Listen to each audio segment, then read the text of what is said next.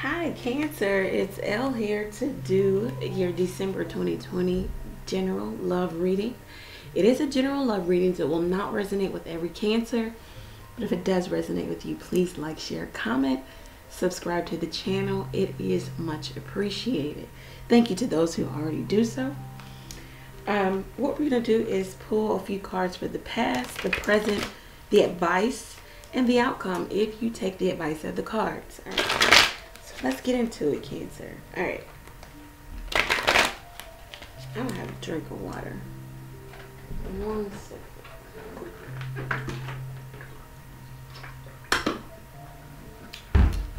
Okay. Cancer. Okay, Cancer. In the past, let's see what you were dealing with. Oh, card came right out. The Hierophant. All right. So,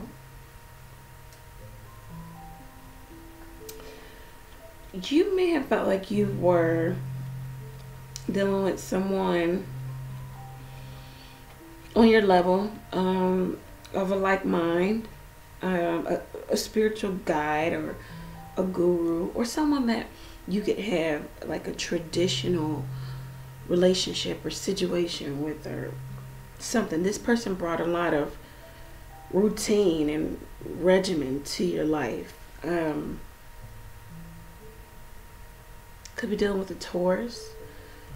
Um, so in the past, you felt like you were dealing with someone who, you know, they were a like-minded individual who brought a lot of routine and regimen to your life.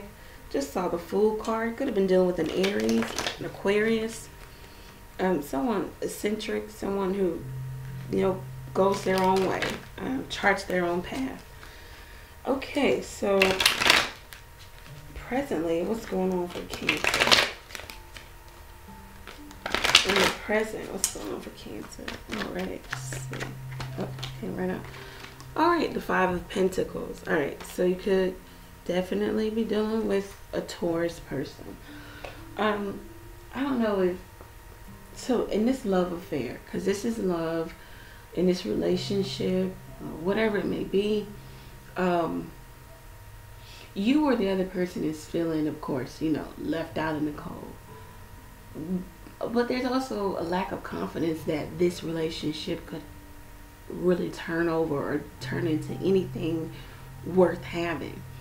Um, someone has just a lack of confidence here in terms of how they view the relationship.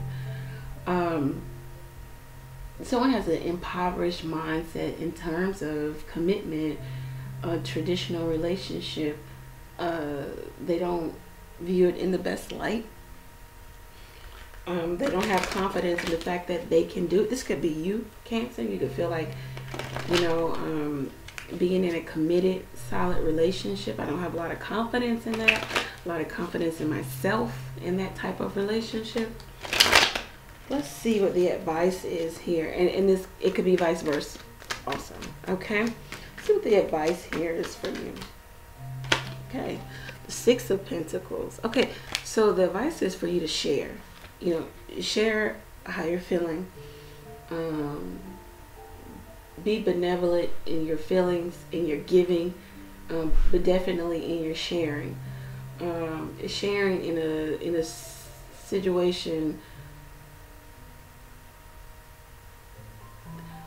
Also, okay, what they want you to do. Okay, so the advice here is for you to be very analytical, you know, in how you evaluate, you know, and the two factors that they would like for you to take into, you know, consideration when you evaluate uh, where you are or relationships or this person, that person is health and fitness. Does is it healthy for you to be you fill in the blank? It, does it fit in your life for you to be whatever or with whomever um, what sense of service are you giving giving to a particular dynamic relationship person place or thing? Um, see a relationship is not just about getting out of it you know what can i get out of this? I can get some sex i can get some love i can get some money i can get some food. You know it's about giving. That's why in evaluate in evaluating um, this, they want you to take into account what what sense of service can you get from this also, uh, or you can give. Excuse me. Um, so they really want you to um, really share something about sharing, and we're going to clarify. Um, the outcome if you take the advice of the cards. What's the outcome if Cancer takes the advice of. So the outcome is the moon card. Alright. So the outcome to the so the bright side of the moon, right? And not the dark side of the moon. See that dark side? The bright side of the moon is trying to get two very different energies to work together. Um, not on this card, but on most moon cards, you have the you have the um, the wild fox or wolf, and then you have the dog. So you have the the untamed and the tamed, and you can try to get in where you fit in, or you know, you know you, I don't um, but it could be that the marrying of two energies, you know, on two polar opposites, because normally it would have the two pillars also on the side. So it's just about um, marrying that energy and um, really identifying the fact that you have those lower vibrational energies within yourself, but you're always going to rise to the occasion to kind of let the good overshadow or the light overshadow the dark. Excuse me, the light overshadow the dark. So um, the outcome is just that they want you to start realizing that sometimes shit is sweet, sometimes shit is just sour, you know? And you got to mix it all up together and say, well, I got more sweet than sour. That's life. That's relationship. That's business that's everything. You know, it it, uh, it rains on the just and the unjust. Um, there's good and there's bad. Uh, so what you seen a lot of the bad, or you know, you were privy to this or that. The beauty of free will is your life is what you make it. So um, it looks like in the outcome, the cards, universe, spirit, God wants you to get over this hump of not really um, acknowledging your feelings, how you feel about a person, how you feel about situations, how you feel about tradition. We got this here on the on the table. How you feel about sharing, how maybe um, things have been imbalanced, or uh, there has been inequality in relationship they want you to really dig deep into your psyche. Um, you might have some some mom issues too, whether it's that you are a mom or you have issues with your own mom um, and your upbringing. Like everything needs to come to light because you keep overshadowing some emotions by suppressing them, acting as if they're not there. The moon card comes up when you have feelings for you fill in the blank, but you suppress them. You don't acknowledge them. You ignore them. You move away from it. So that's what, uh, you know, spirit, God, angels want you to to um, get to that outcome. Okay. Let's start clarifying. What is the Hierophant in the past for my cancers? The King of Pentacles. Okay. So maybe you have what is this about? You, you could have had somebody who was willing, could be Taurus, could be Capricorn too. Had somebody who was willing to make decisions that were good for the for the whole and not just for them.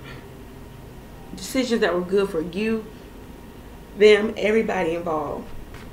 This is a, a good steward of money. This is a person who has money coming in could have been dealing with a wealthy individual, wealthy man, woman. Well, this is a man. Um,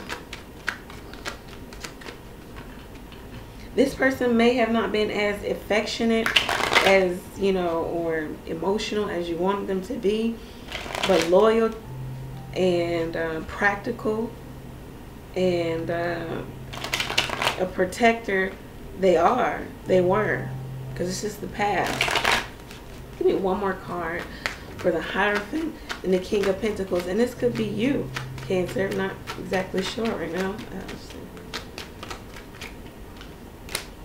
The prince of wands. All right so we got two polar opposites. We got the king and the knight. Okay, the knight of wands. Um,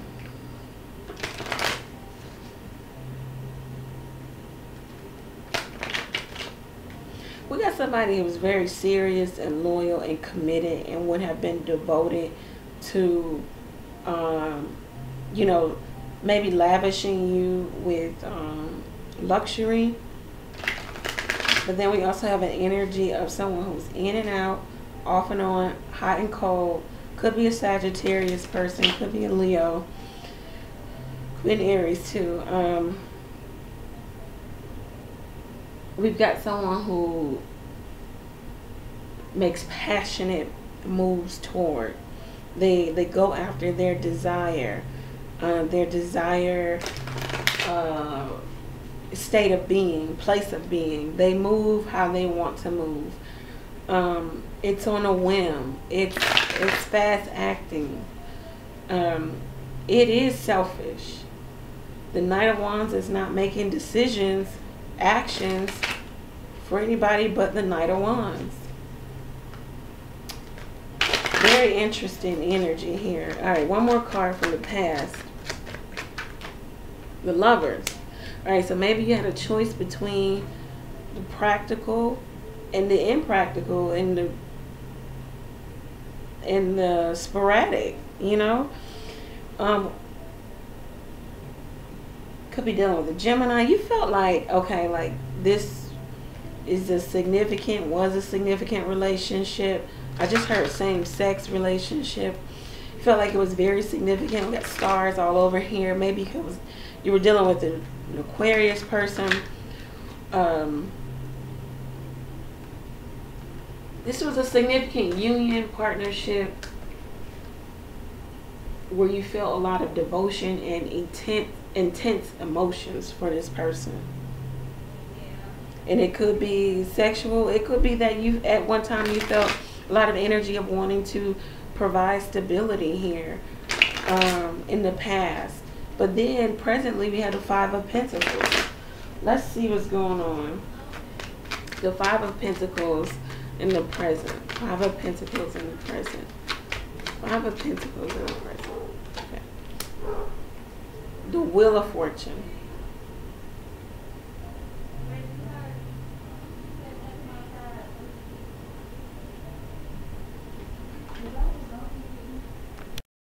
Okay, and we're back. Sorry about that. Okay, so yeah, there was some significant change, and then in in in inevitable fate happened here. Um, Destiny jumped in in terms of maybe putting a halt to this relationship. Something stopped. Something changed to where somebody feels left out in the cold here. Um, I don't know if someone withdrew, with yeah, withdrew their energy. Three of Pentacles. Um, someone was trying to get recognition, trying to get, um, you know, just just trying to work on the relationship. Three of Swords. Yeah, Prince of Cups. Like there was like a a breakdown in communication completely. Um, there's also some surprise. I don't know if if the surprise is that you know several different parties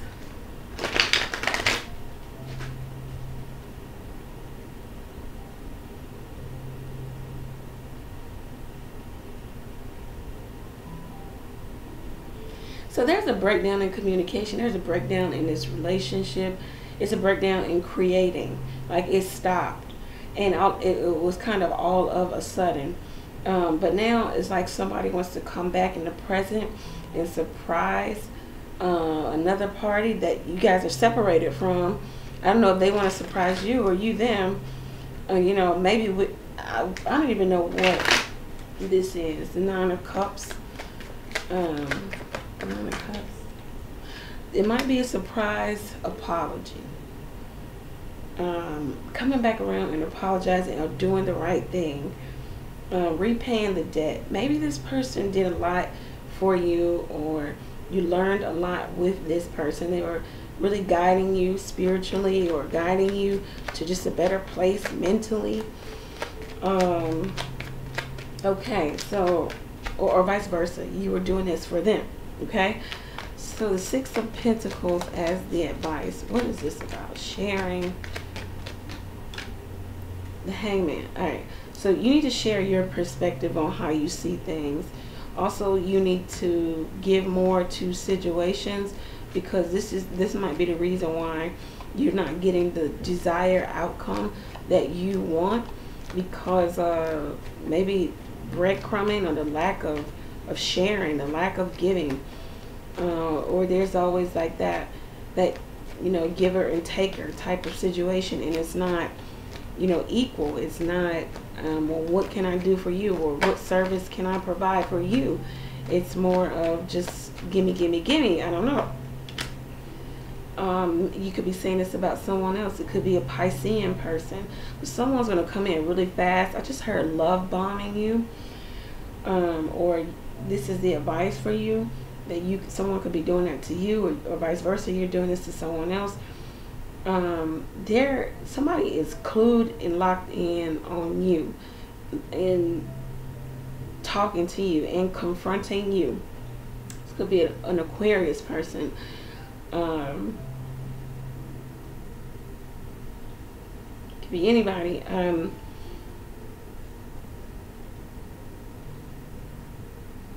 they want to give you your their truth about him. They want to talk to you about the jealousy, the greed, the problems, just the problems overall in this relationship.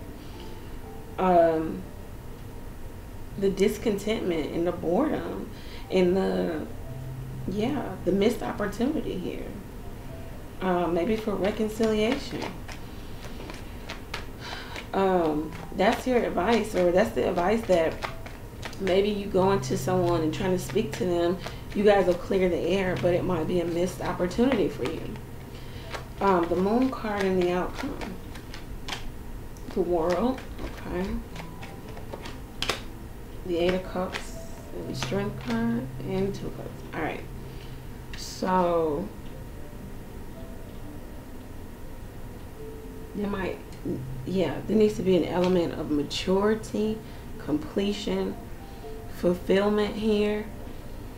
So you can go to the next level in life. Um, there might be a little bit of soul searching after this completion is I don't know it could be a breakup. It doesn't look like you guys are together but it looks like there's a clearing of the air in order for both parties to kind of move on and heal and do their own thing. Okay eight of cups. Um, whatever you were doing or are doing, it's not fulfilling you. And you may even walk away from that and try to refrain from that. You may even ask someone for forgiveness. Um, or this is what's heavy on your brain, on your heart, and your emotions. Maybe those emotions that you are suppressing, or vice versa. This is what someone wants to do, you know, in regards to you. Ask for forgiveness. Could be a Leo person. They see that the relationship is mutually beneficial that you guys at the core value system it matches um, your priorities your values it matches your your hustle your work ethic all of that. You know you just feel as if you found the perfect person or this is how they feel. But there's also walking away from and someone trying to be strong in terms of asking for forgiveness and wanting to ask for compassion yeah, because it might be completely over for for another party, but then there's the other party. I don't know where you are, um, Cancer who's saying, well, it's not over for me, you know, um, or at least wanting to come back and ask for forgiveness. Let's see.